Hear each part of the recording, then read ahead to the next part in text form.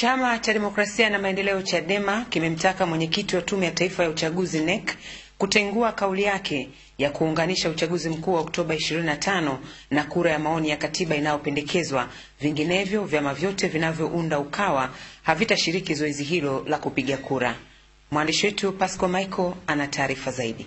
Kauli hiyo imetolewa mjini Bariadi na naibu katibu mkuu Chadema Bara John Mnyika wakati akifunga mafunzo ya viongozi ngazi ya jimbo, kata pamoja na viongozi wa serikali za mitaa wa halmashauri ya mji wa Bariadi kupitia Chadema, ambapo zaidi ya wajumbe 387 wameshiriki katika mafunzo hayo, huku lengo ikiwa ni kuboresha utendaji wa viongozi hao sambamba na kujenga mashirikiano kati ya viongozi wa serikali za mitaa na viongozi wanaotokana na chama hicho. Akizungumza na wajumbe hao na baadaye kuwahutubia wananchi, Mnyika amesema kuwa Ukawa kamwe hawatashiriki kuipigia kura ya maoni katiba inayopendekezwa endapo itaambatana na uchaguzi mkuu na kudai kuwa utaratibu huo ni mtego kwa wananchi.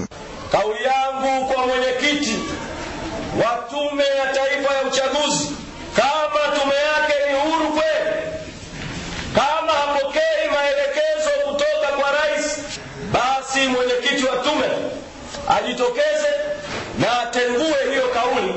Hatuko tayari kwa namna yoyote kura ya maoni ya katiba kuchanganywa na uchaguzi mkuu wa mwaka 2025.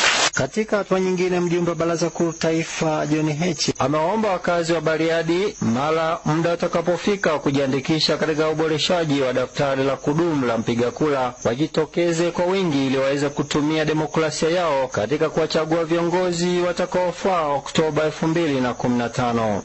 Hamasa hii haitotusaidia jambo sisi hatuna kitambulisho, tuseme sisi tumepoteza kitambulisho.